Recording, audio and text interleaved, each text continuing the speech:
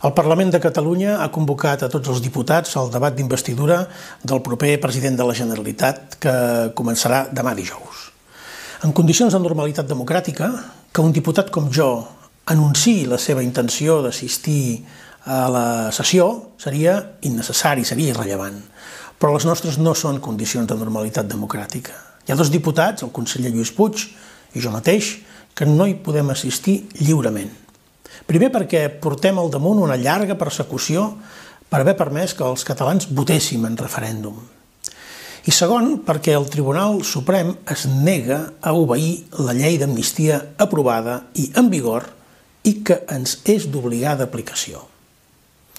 Aquest desafiament s'ha de contestar i s'ha de confrontar. Per això he emprès el viatge de retorn des de l'exili.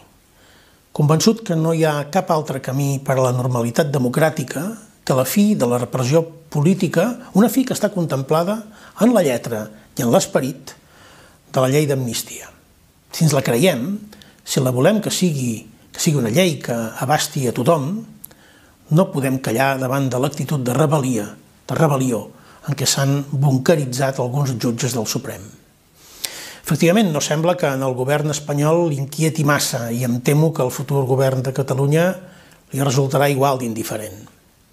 Però hi ha molts catalans que volem viure en un sistema democràtic ple i que volem gaudir del mateix que gaudeixen els països i les societats més democràtiques del món.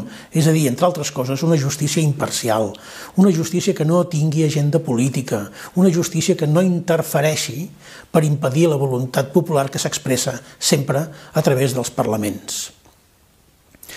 Que jo pugui assistir al Parlament hauria de ser normal.